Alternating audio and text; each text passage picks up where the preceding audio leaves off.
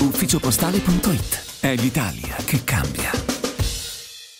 Una settimana importante è quella che sta per iniziare in Casa Teramo. L'udienza di questa mattina davanti al Tribunale di Roma sulle misure preventive che mesi fa hanno portato al sequestro dei beni del gruppo Ciaccia è stata un'udienza interlocutoria al fine di valutare le difese e gli eventuali ulteriori approfondimenti del pubblico ministero, ma non è stato deciso nulla in questa udienza di definitivo sulla revoca delle misure patrimoniali dei Ciaccia. Non si è trattato di un riesame delle misure preventive e dunque di un'udienza definitiva, ma di un'udienza dibattimentale tra le parti e ce ne saranno delle altre, ma nulla è stato deciso.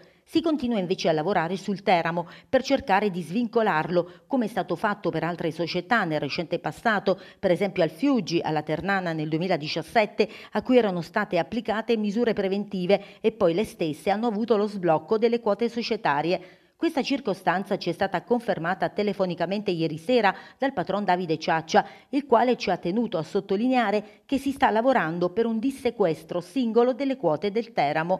Il futuro del diavolo potrebbe però passare per l'assemblea dei soci della SS Teramo Calcio, che è stata convocata per il giorno 6 giugno 2022 alle ore 15 in Roma per discutere e deliberare su alcune questioni all'ordine del giorno.